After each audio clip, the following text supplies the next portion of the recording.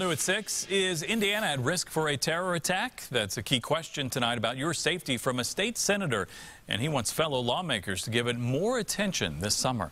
RTV6 State House reporter Katie Hines is live to explain for us. Katie?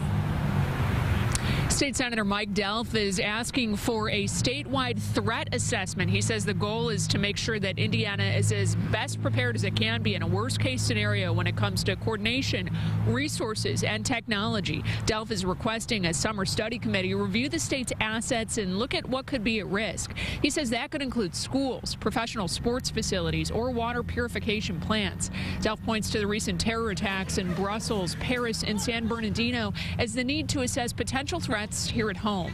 He would like to see part of the conversation include the state's telecommunications partners and a discussion on how to make it more difficult for coordination of a potential attack on social media.